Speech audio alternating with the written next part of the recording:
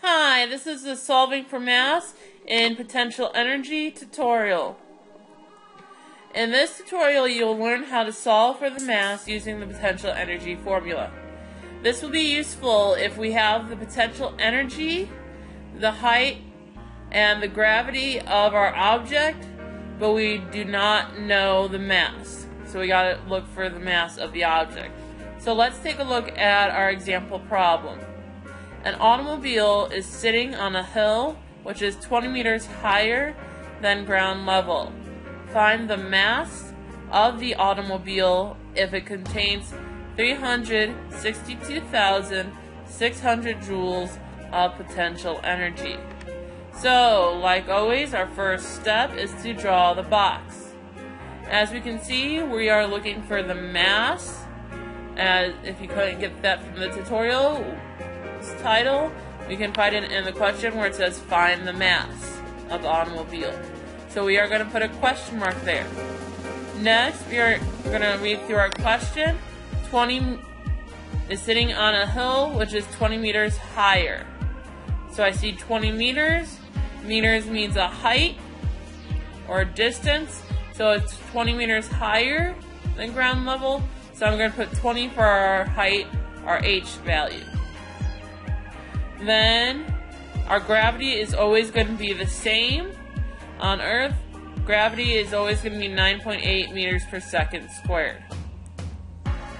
And finally, 362,600 joules is our potential energy. So we're going to plug 362,600 joules for our PE value.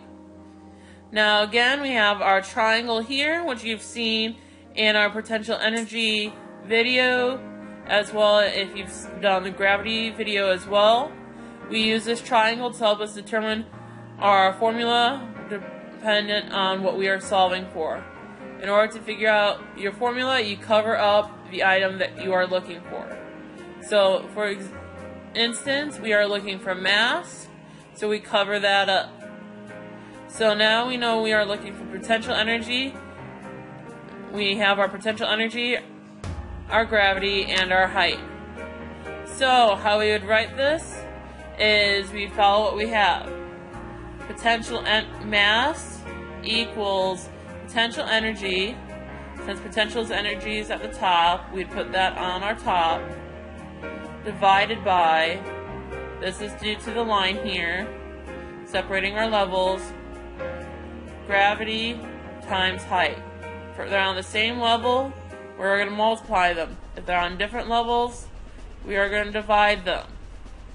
So, PE equals gravity times height. So now that we got our formula, we plug it into our formula box, we pull it up, we substitute our numbers. The first thing we're going to do is multiply according to our order of operations. So 9.8 meters per second times 20 meters. We're going to get 196. Then we are going to take 362,600 joules and divided by 196. This will get us 1,850. So we pull that down into our answer box and I attach our unit, the kilojoule, kilogram. So we just solved for the mass of our automobile being 1,850 kilograms. So I hope you've learned how to solve for mass using our potential energy formula. You may take a look at the other tutorials to help you figure out how to solve for other things using the potential energy formula. Thank you and have a nice night.